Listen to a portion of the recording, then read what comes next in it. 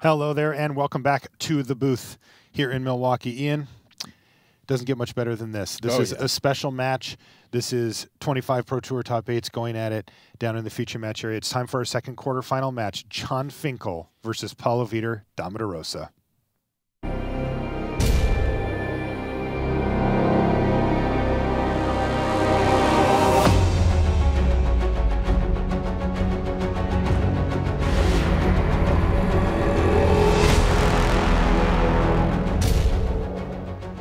Hello and welcome to coverage of Pro Tour Battle for Zendikar. I'm Marshall Sutcliffe in the booth with R&D insider Ian Duke. And Ian, this is a special day and this is a special match. We have two of the best players ever to play Magic, two of the most stacked resumes in the history of the game. Paulo Vitor Damo Da Rosa is somehow the underdog in the resume fight here between these two players. You take a look at Paulo from Brazil, his opponent that's Jon Finkel. He's a legend of the game. He's one of the best players. Uh, ma- many people will call him the flat out best Magic player in the history of the game. This is 10 Pro Tour top eights on the left side of your screen, 15 on the right. And we get to watch them play a quarterfinal match here to see who wins. Paulo's down a card here as he had to go down to six. Now, let's talk about their decks here. What tools have these two players brought to the table for this epic match? Yeah, so we just saw their deck lists um, in the sort of the, the, the pregame preview there. Uh, but Paulo Vitor Damo Da Rosa is on Atarka red, pretty standard, you know, red deck win style deck, but with this combo finish that we've seen from cards like Become Immense and Temur Battle Rage. On the other side, Jon Finkel playing one of the breakout decks of this tournament, Dark Jeskai. This is, you know, Jeskai Mantis Rider deck, adding black for cards like Crackling Doom and Kolaghan's Command. All right, this should be a fantastic match to watch here. Now, it might go by quickly as the Atarka red deck tends to win very quickly, or if it doesn't, kind of falls behind quickly too. Yeah, and the Dark Jeskai deck is well stocked with cheap removal, like the Fiery Impulse that we saw there. That's huge from Jon Finkel. Uh, cards like Kolaghan's Command can really grind out the game, uh, and they're they're pretty efficient too. And with uh, Paulo down a card from a mulligan, sitting on a couple more lands in hand and a Temur Battle Rage, all he's got to add pressure to the board is Monastery Swiftspear. So Jon Finkel in a pretty good spot coming out of the early game here. Now you really hope against these Atarka red decks that uh, they don't just curve out, you know, one drop, one drop, one drop, uh, and set you behind early on. Especially since uh, Paulo is on the was on the play, right? Jon Finkel played in the first Pro Tour, period. Now he's in the juniors. The very first. Pro- Yeah, but uh, he was in Pro Tour 1. Still at it. Life has taken him a few other directions in between. But Magic has always been a big part of it for Jon. Soulfire Grandmaster, the draw for Jon Finkel. This is a card we've seen do a tremendous amount of work throughout the Swiss.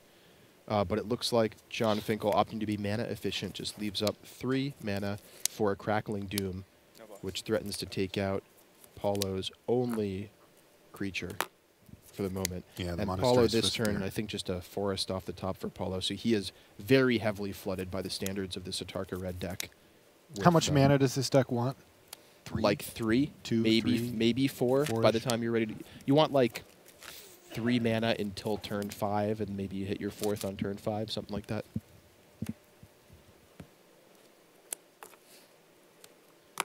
And there's that crackling doom that you mentioned a second ago, Ian, putting Jon Finkel to an even safer board state. I see he's also got a Mantis Rider at the top of his hand there. So this is just a, a dream sequence for Jon in terms of how this game's playing out. He's able to answer Paulo's early threats. Paulo's flooded out. Jon's able to get Mantis Rider on the table, which is bigger than any of Paulo's creatures. So now, even if Paulo top decks something like a Monastery Swiftspear or Lightning Berserker, uh, it still doesn't get through the Mantis Rider without assistance. Yeah, don't blink here. This game could be over very quickly as Paulo has found himself with no threats whatsoever, a couple of lands and a Temur Battle Rage in hand.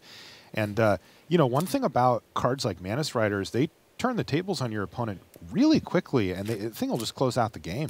Yeah, and the three toughness is awesome against these red decks. A three toughness vigilant creature is a, a great blocker as well because uh, very few of the red deck's creatures can get through the Mantis Rider without assistance from another card. So Mantis Rider often attacks for three and then it blocks and trades for two cards.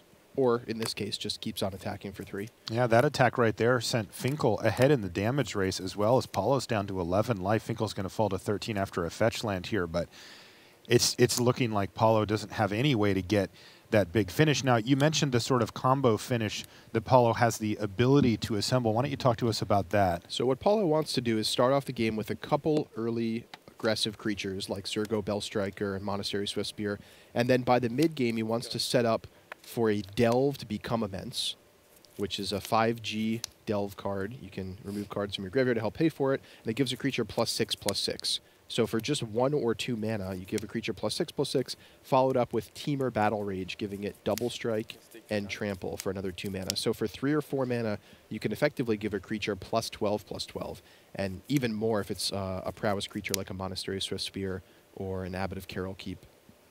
With trample, too. Yes. You see John kind of shaking his head, but don't be fooled here this game is basically in the books. Jon Finkel is way ahead. He's just resolved a dig through time on top of being ahead on board, being ahead on cards, and being ahead on the damage race as well. It is all Jon Finkel here in game one as Paulo mulligan to six and just has not had the draw that he needed to get there. Now, you know, as, as we start to look forward towards the end of the game here, uh, you know, Paulo has now fallen down all the way to six. Um, one of the questions I have is about who's supposed to win game one and who's supposed to win the sideboard games. And yeah, that crackling doom on the stack right there finishes it off. So Jon Finkel with a quick game one dispatches of Paulo Vitor Rosa. We're going to be back right after these messages. Outfit your Magic collection with the newest Battle for Zendikar accessories from Ultra Pro.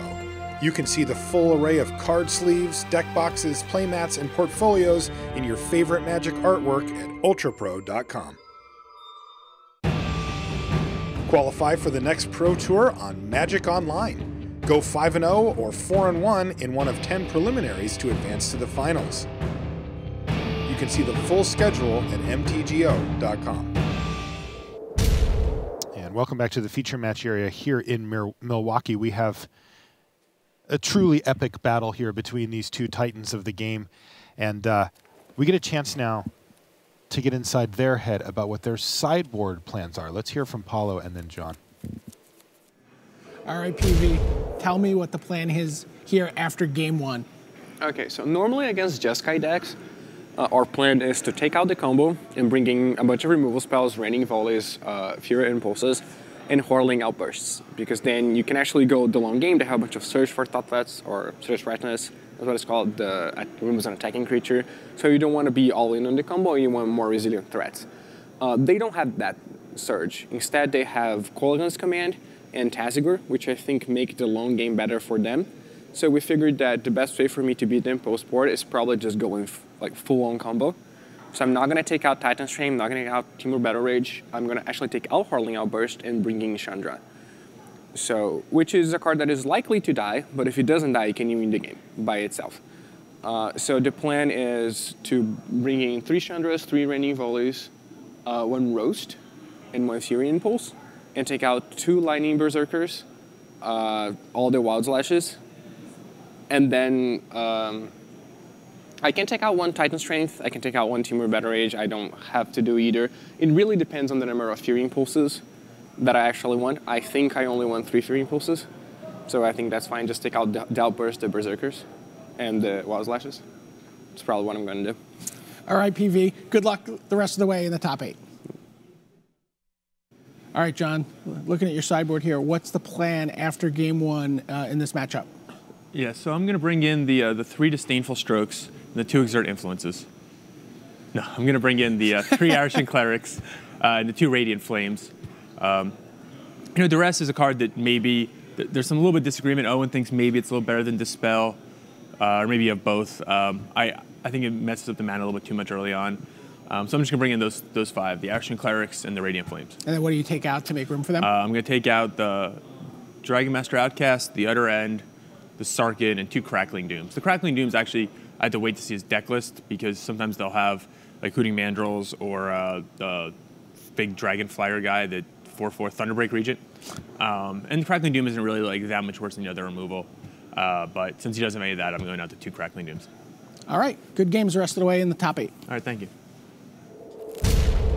And once again, welcome back to the feature match area here at Pro Tour Battle for Zendikar. We are in the we're heading into the second game here of our second quarterfinal match. It's going to be an awesome day for Magic fans around the world, and uh, this is one of the early highlights of the day for sure.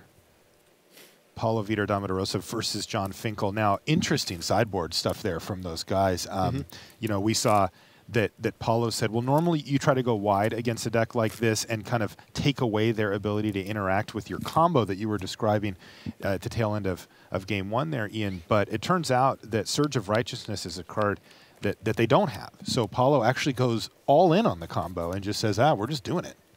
Yeah, I really like that plan. Uh, it makes a lot of sense to me. I particularly like bringing in the Chandra, Fire of Kaladesh, um, as just sort of playing into that all-in plan. Like, yes, the Jeskai deck has a lot of cheap removal in the form of Fiery Impulse and things like Crackling Doom, um, but it's hard to beat the Jeskai deck in a long game, especially with cards like Radiant Flames and Soulfire Grandmaster that we saw in the Swiss yesterday.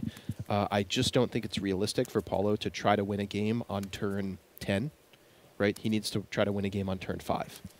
Uh, so just upping his chances of putting together a really, really powerful draw, hoping Jon Finkel stumbles a little bit or just doesn't have the right answer at the right time or doesn't have enough answers. That is by far his guess- best game plan. Yeah, Paulo said he's actually taking out those Hordeling outbursts. So you know Mm-hmm. he's he's he's actually playing around the the radiant flames a little bit. Now, unfortunately for Paulo, we saw him mulligan in game one. He's had to mulligan again here in game two. Yeah, that is unfortunate for sure, although uh, he's still on the play here, which is where the red deck wants to be. And a mulligan, I think, you know, a little bit less punishing for a red aggressive deck, especially one that's capable of being explosive and winning the game with just a couple cards. I mean, a single Monastery Swiftspear, Become Immense, and Temur Battle Rage can win the game all by itself with just a couple lands. Yeah, the, the good news for Paulo there was that it was an easy decision. The bad news is that it was because he had no lands in hand. So going down to going five down to now. five. Yeah, Yeah. so it's a tough spot here for Paulo. Finds himself post board against Jon Finkel, down a game. Now going down to five cards. This is gonna this is gonna be a tough hill to climb now for Paulo. He is gonna need to see a very specific set of cards to get him there, Mhm. and he's gonna have to hope that the hand that Jon Finkel kept was kind of one of those you know in betweeners. Well, we can take a little little preview of Jon's hand. It looks like he's got actually a five land hand, which yeah maybe not so great. But th- the two non land cards he does have are Arashin Cleric and Mantis Rider. So those are two great cards in this matchup. But it's entirely possible that you know Jon just draws some land. Uh, notably absent from his hand is a removal spell, and that could open the door for Paulo to really chain something together. Okay, Paulo did keep, and I believe he scried to the top there as well. And play is underway in game two. Can Paulo pull this game out to force a game three here? Second land for Paulo, that's huge, and he has Abbot of Keral Keep, so he can he can get things going here.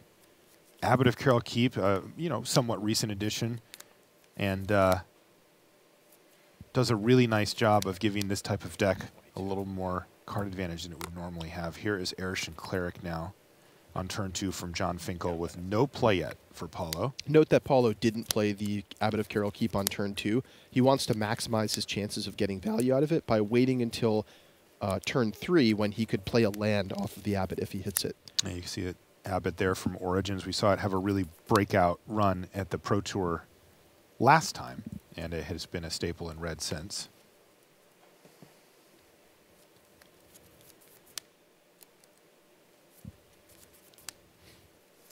So Paulo not threatening any immediate early aggression, um, but as we talked about, Jon Finkel's hand is pretty land heavy.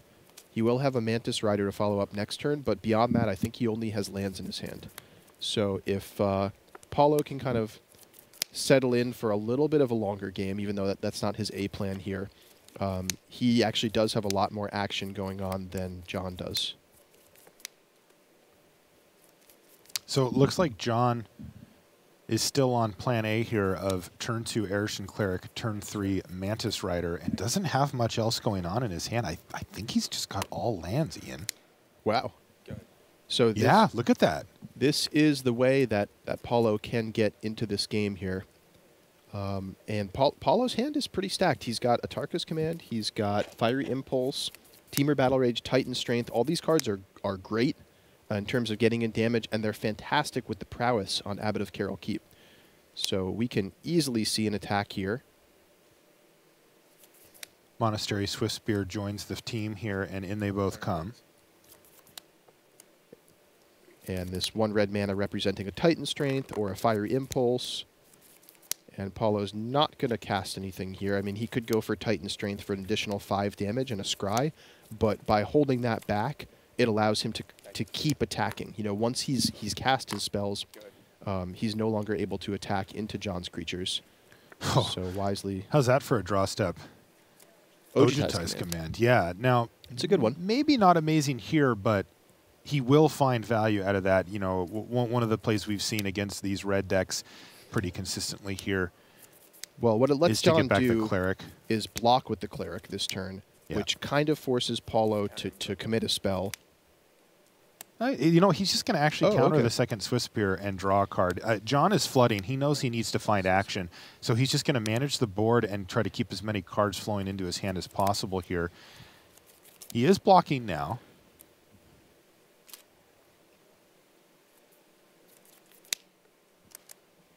Paulo can also use a Fiery Impulse here to finish off the Arashin Cleric and keep his Swiftspear alive would get him an additional damage from the unblocked abbot. So he's got a few options, and you can see he's thinking about them carefully.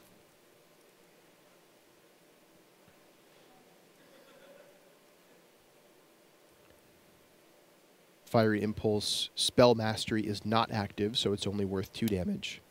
So Which is enough Okay. in this case. So there we go. That's three damage to drop Finkel down to 16, and the Swift Spear plus the Fiery Impulse get over the uh, the cleric to put it in the yard. Now, what's going on in Finkel's hand here? He's found a Wild Slash and a land. He just cannot seem to find spells here. Wild Slash is a nice pickup, though. Meanwhile, by the way, Ian, let's not lose track of things here. That Mantis Rider is doing serious work in the air. Oh yeah, Paulo's down to nine. yeah, and that just really showcases the the ability of this Jeskai deck to close out the game quickly. Puts a lot of pressure on Paulo to put something together quickly. So Paulo still has that Titan strength. Um, unfortunately, all his other spells cost two, and he isn't able to cast Atarka's command. He was forced to fetch up a mountain with his second fetch land there, or second land. Yeah, he had that wooded foothills, but I mean, he could have gotten forest there, but he he did want to reserve the option to cast two one mana red spells in the same turn. At the time, he had uh, I think three one mana red spells, so it made a lot of sense for him to fetch up mountain there. But now you know he's really wishing he had access to green mana for those Atarka's commands. uh oh. That's a second Mantis Rider off the top here for Finkel. Wow. And that means that this is going to be a two turn clock.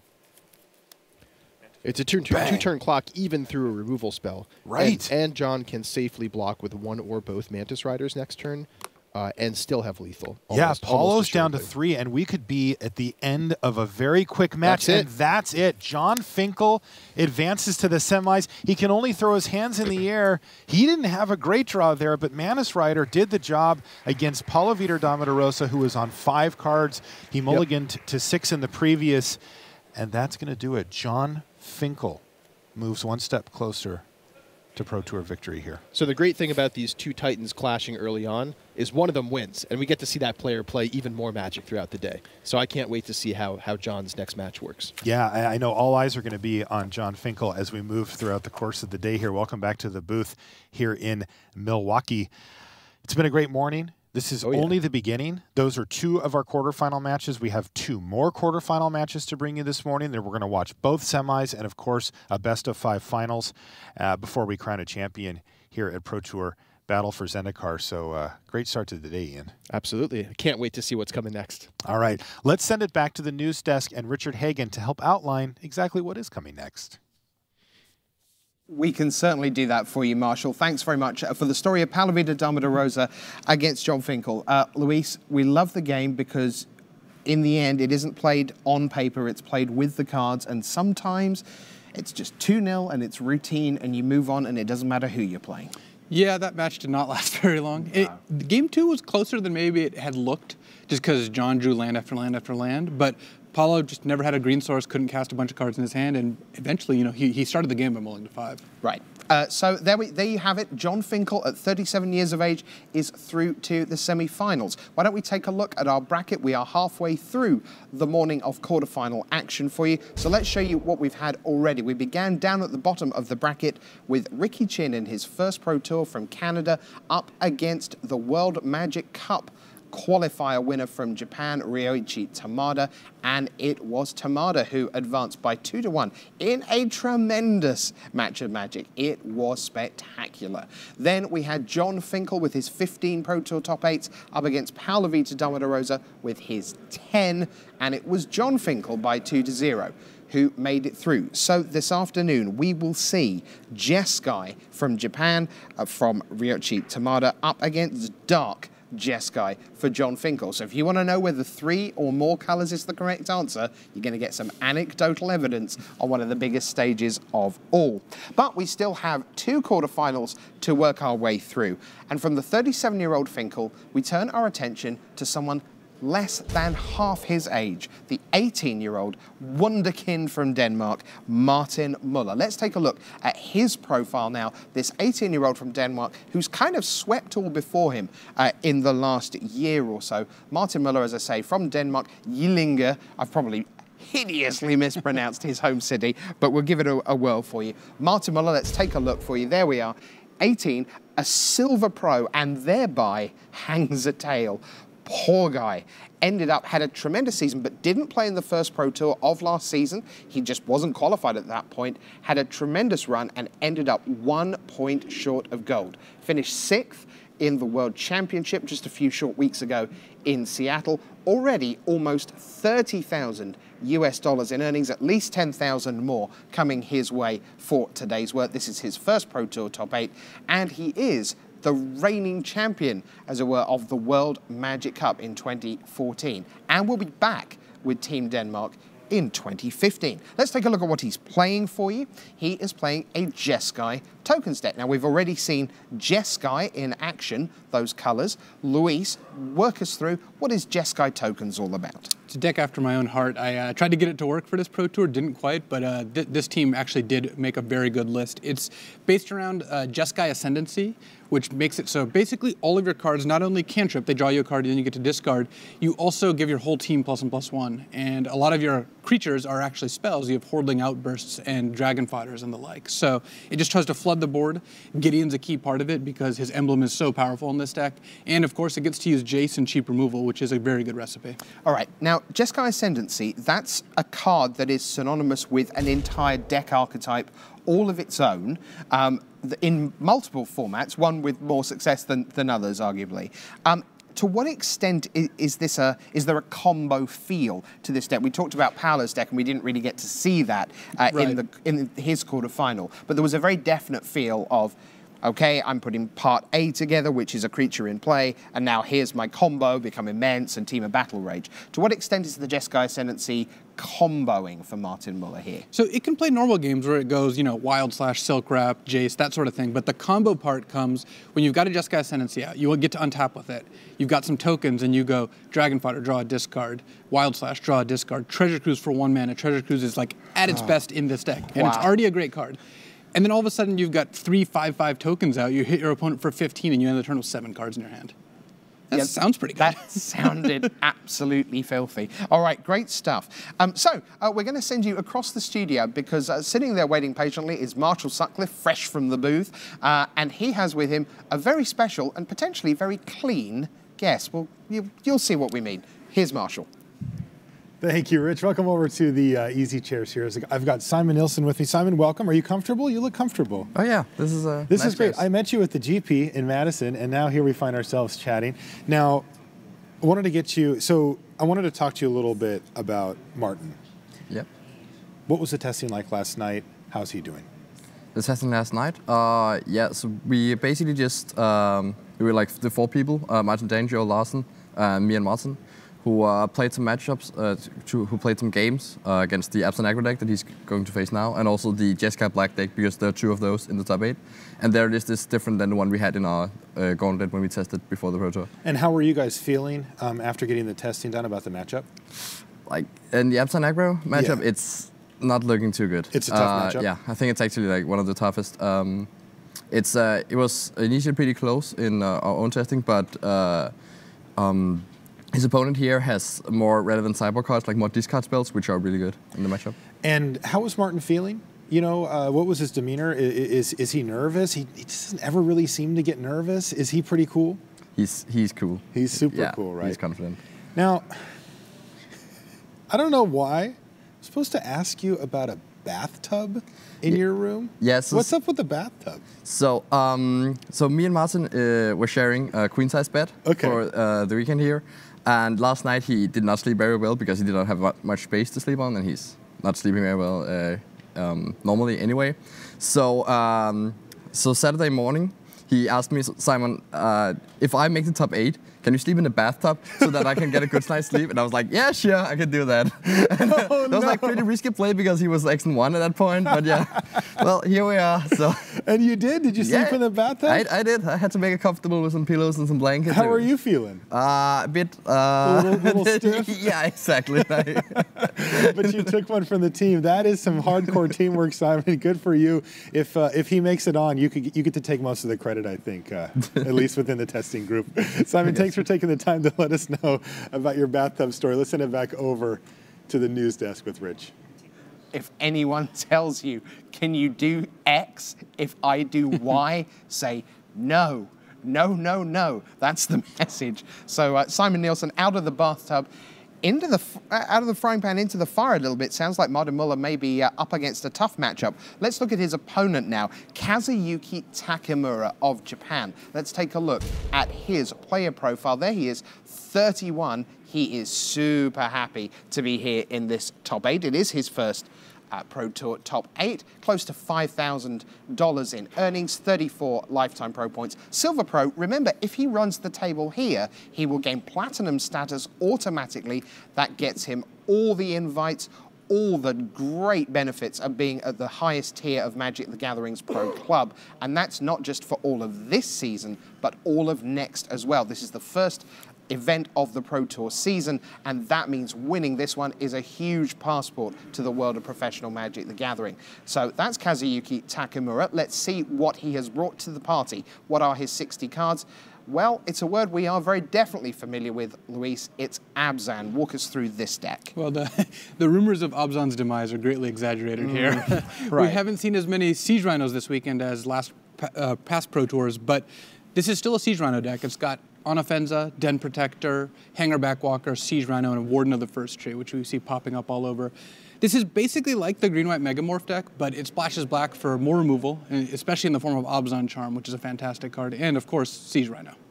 So, why do you think we haven't seen as, as many Siege Rhinos as we might have done at this Pro Tour? Uh, the biggest by far is that Thoughtseize is no longer in the format. Without Thoughtseize, the Abzan decks got quite a bit worse, and it just made it a lot more, you know, realistic to play green-white because you're not giving up as much. Okay, so in terms uh, for people, I know a lot of people will have seen Abzan decks in, in action because it hasn't changed an absolute ton. We've got Fort Gideon ally of Zendikar. That's one of the big headlines from uh, BFZ. But what kind of play patterns are we looking for? If we if we're rooting for Kazuyuki Takimura, what are we looking to see him do in the early game? Is he going to be on the front foot in this matchup, or is he the, the control of the two players?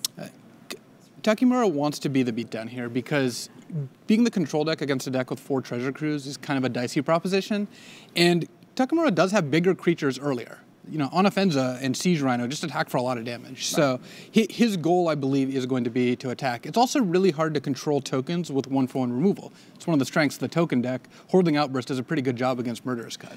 Really does. All right, so let's see whether Kazuyuki Takimura can be the beatdown. Let's see whether Martin Muller's good night's sleep was enough to help him with what looks like a tricky matchup. It's time for Jeskai tokens against Abzan. It's time for quarterfinal three here at PT BFZ.